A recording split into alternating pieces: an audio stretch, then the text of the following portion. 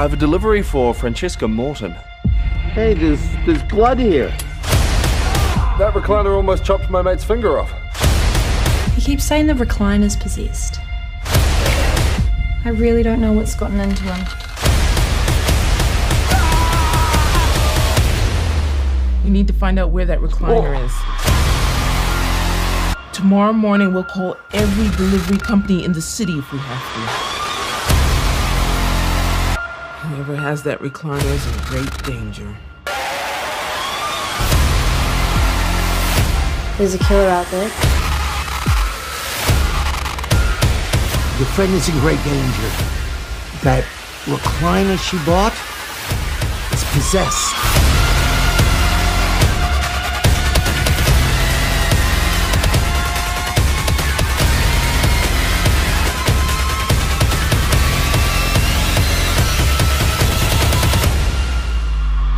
It's here.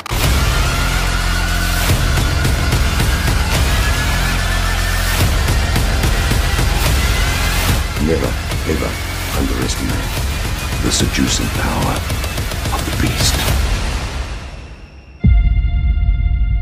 The soul you were trying to save has already been doomed.